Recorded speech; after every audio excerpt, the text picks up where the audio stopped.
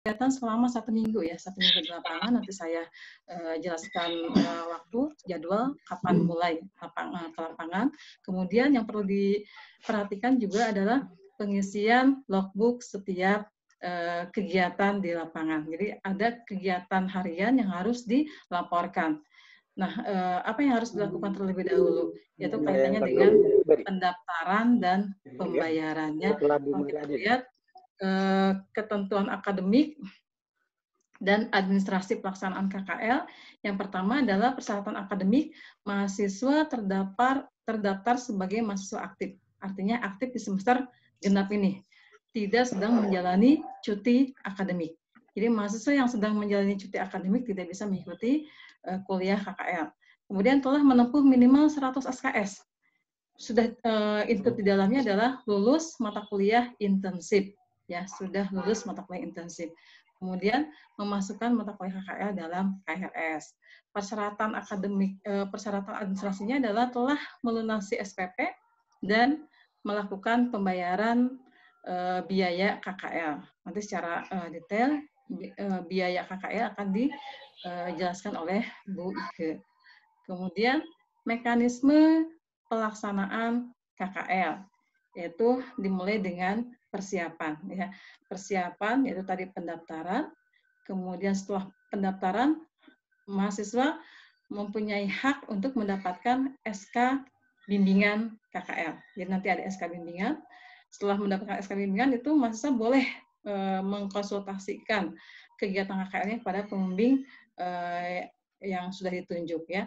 Kemudian mahasiswa juga berhak atas surat keterangan atau surat pengantar dari uh, fakultas untuk ke desa atau ke kelurahan.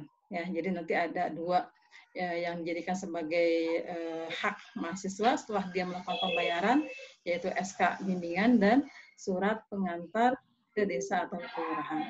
Kemudian masuk melakukan studi pendahuluan, karena ini tempatnya, tempat atau lokasi itu di tempat masing-masing, di tempat tinggal masing-masing, di desa atau kelurahan tempat tinggal mahasiswa.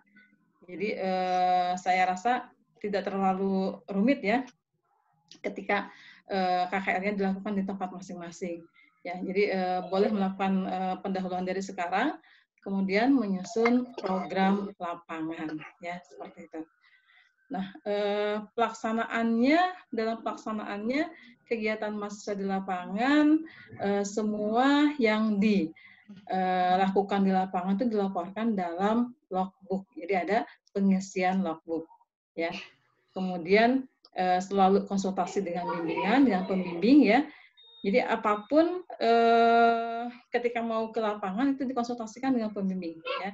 Selalu dikonsultasikan dengan pembimbing nanti karena uh, recordnya nanti akan uh, ketahuan oleh pembimbing siapa yang tidak pernah bimbingan dan itu tidak akan uh, jangan harap dapat akan mendapatkan ACC untuk maju ke seminar hasil KKL ketika mahasiswa tidak melakukan pembimbingan ya.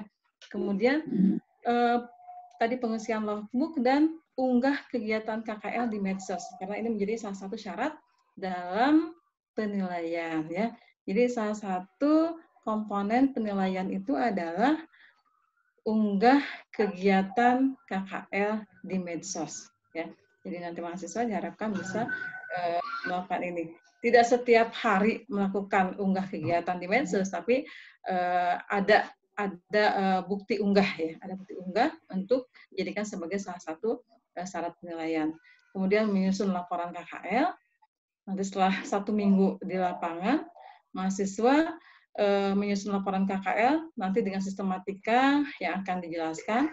Kemudian menyusun artikel ilmiah. Sistematika bisa dilihat di artikel yang ada di Jurnal Governance dan Komunikatio. Nah itu eh, pelaksanaan, kemudian melakukan seminar hasil KKL, dan yang paling penting juga pengumpulan hardcover laporan KKL.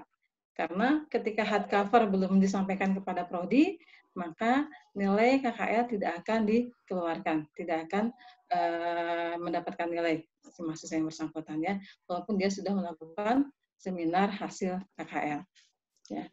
Nah, uh, kalau untuk contoh judul, jadi prosesnya pen, uh, kegiatan-kegiatan penelitian ya, penelitian lapang. Jadi nanti hasil dari uh, kegiatan KKL ini adalah uh, hasil laporan penelitian dan laporan kegiatan lapang. Uh, kegiatan lapang itu yaitu uh, bisa dilihat dari pengisian blog. Depan ada berapa? Nah, kemudian contoh judul yang untuk uh, administrasi publik Uh, tadi temanya tema tentang pemberdayaan masyarakat dalam penanganan COVID-19. Itu tema besarnya ya. Pemberdayaan masyarakat dalam penanganan COVID-19. Boleh uh, yang dijadikan judul itu boleh disorot uh, topiknya itu atau apa namanya kajiannya fokusnya itu boleh berkaitan dengan SDM-nya, misalnya uh, aparaturnya, kinerja aparaturnya, atau mungkin melihat peran kelembagaannya misalnya peran iya. kelembagaan desa dalam mencegah penyebaran COVID-19 misalnya ya, atau kinerja aparatur desa dalam pelayanan publik di masa pandemik misalnya gitu ya. Atau mungkin bisa dilihat dari implementasi kebijakan penanganan COVID di desa. Seperti apa sih implementasi kebijakan penanganan COVID di desa itu? Atau berkaitan dengan pengelolaan BUMDES-nya penguatan kapasitas kelembagaan desanya, tata kelola pemerintahan desa, atau mungkin peran kepemimpinan kepala desa ya dikaitkan dengan tadi penanganan COVID. Jadi banyak uh, sekali pilihan uh, judul atau permasalahan di lapangan nanti disesuaikan dengan temuan yang ada di sana di uh, tempat tinggal masing-masing uh, yang dikaitkan dengan tema besarnya, yaitu pemberdayaan masyarakat dalam penanganan COVID-19. Nah, kemudian uh, tanggal penting, nah, di jadwal jadwal KKL itu ada tanggal penting yang perlu dicatat, yaitu tadi tempatnya tempat tinggal masing-masing ya.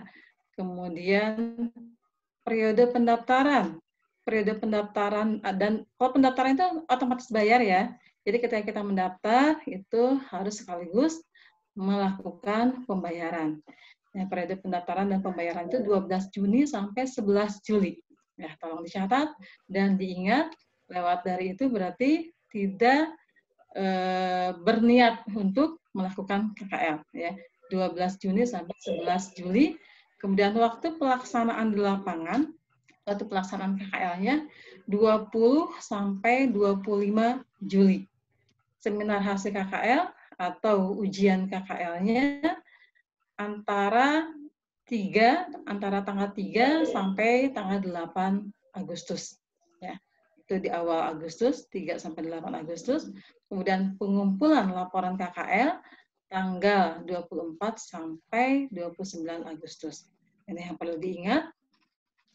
Eh, pengumpulan laporan itu dalam bentuk eh, hard cover ya. Nah, eh, karena kita jumlah peserta KKL itu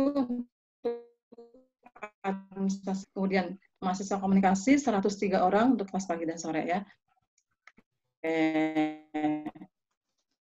Kemudian tadi eh, yang pertama adalah kaitannya dengan eh, memilih atau mencari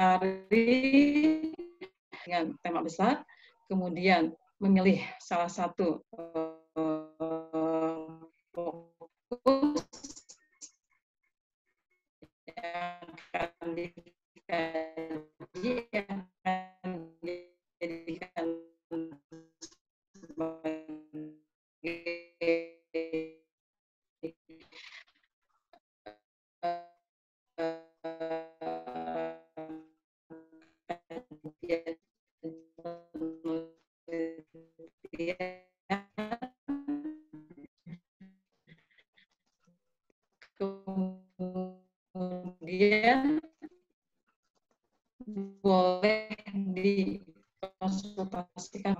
dikonsultasikan tugas yang 25 Juli ya seperti itu. Nah, masuk ke sistem akan dulu proposal kepada pembimbing apakah setuju atau tidak pembimbing itu boleh juga ya. Jadi sebelum waktu pelaksanaan misalnya ingin mengkonsultasikan pada pembimbing itu boleh ya kita lihat uh, realitas di lapangan seperti apa dengan penggunaan metode yang sesuai. Seperti Jadi dilakukannya konsultasi dengan pembimbing.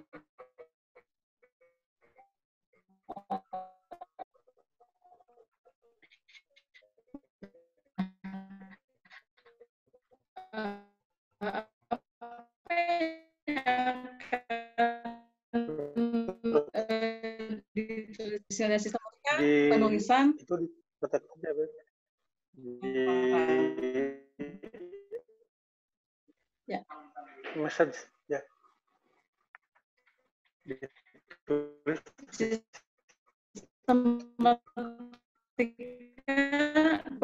slide-nya yang pertanyaan awal, persetujuan pembimbing, daftar isi, daftar tabel, kalau ada, ya. Jadi nanti sampul itu bentuknya hard cover, hard cover kemudian eh, dengan eh, kemudian eh, nanti ada persetujuan pembimbing dan sebagainya ya. Nah kita lihat bagian utama.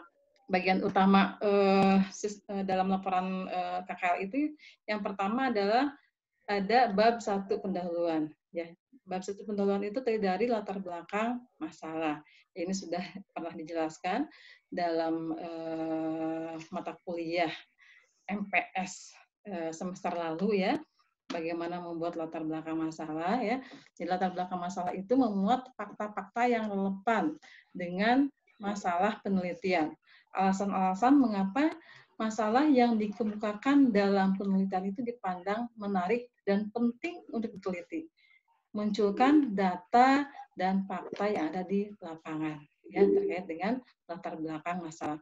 Kemudian perumusan masalah memuat jadi satu titik duanya perumusan masalah yaitu memuat proses penyederhanaan atau pemilihan masalah yang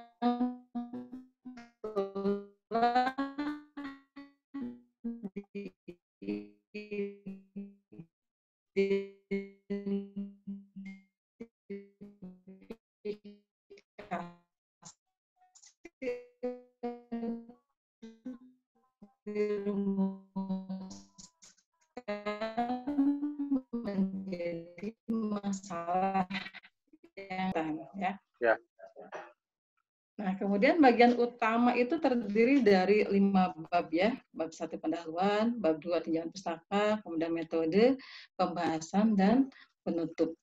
Untuk bab dua tinjauan pustaka ini terdiri dari eh, teori yang mendasari objek yang diteliti, yaitu berupa hasil-hasil penelitian terdahulu yang relevan dengan masalah penelitian.